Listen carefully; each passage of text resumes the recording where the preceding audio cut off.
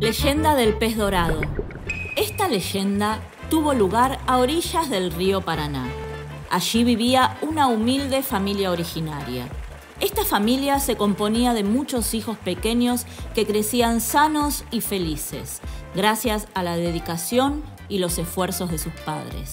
Sin embargo, había un hijo de nombre Angá que en vez de estar agradecido por todo lo que hacían sus padres por todos ellos, nunca estaba conforme, sino que más bien tenía una actitud de querer más y más.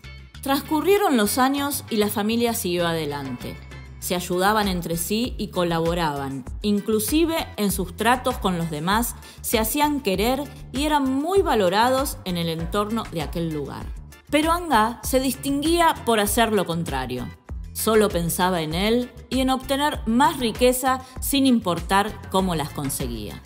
Su actitud egoísta le impedía colaborar con sus padres y sus hermanos. No le interesaba para nada a los demás y así lo demostraba con los suyos. Su ambición no lo dejaba ver.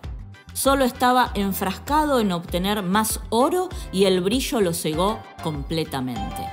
Su ambición creció tanto que fue en busca de todo el oro del mundo. De hecho, quiso adueñarse de todo el oro que había. Su afán desmedido lo hacía amontonar el oro y lo veneraba.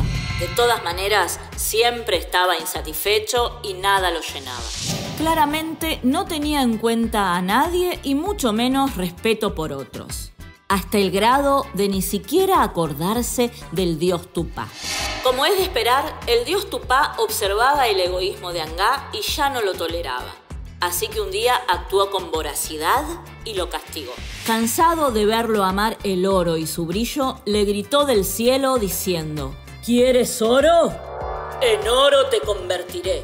Y fundió en oro el cuerpo de Angá para siempre, arrojándolo al río. Así nace la leyenda del pez dorado. Un pez siempre hambriento y al que todo le resulta poco.